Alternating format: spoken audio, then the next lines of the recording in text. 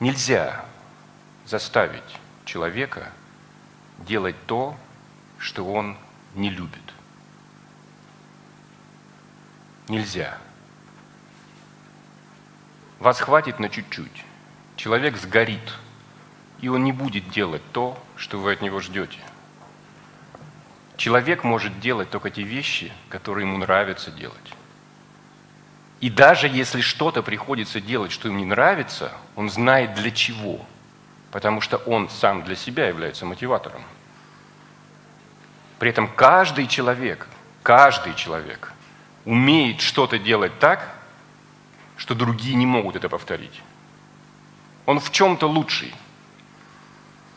И трюк заключается в том, чтобы найти в чем этот человек лучше. Помочь ему развить этот талант, постараться сделать так, чтобы человек понял, что ему будет нравиться.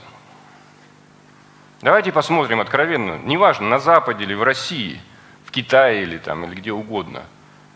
Сколько реально людей счастливы в том, что они делают?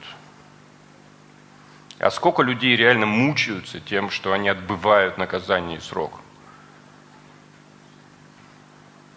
во всех смыслах этого слова. Кто может помочь этим людям сделать так, чтобы они получали удовольствие от того, что они могут и умеют делать? Либо чтобы они научились использовать свои таланты?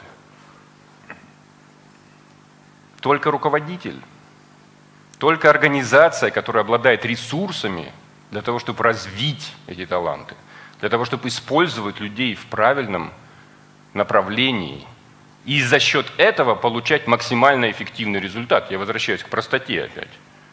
Да, это трюк, но это очень важный трюк, потому что люди должны любить то, что они делают. Или понимать, почему они делают что-то, что им не нравится. Тоже очень важно. Нельзя бить и насиловать людей. Это основной принцип, если вы хотите добиться результата, долгосрочного. Нельзя бить детей. Даже если они тянутся к кастрюле, пусть они обожгутся.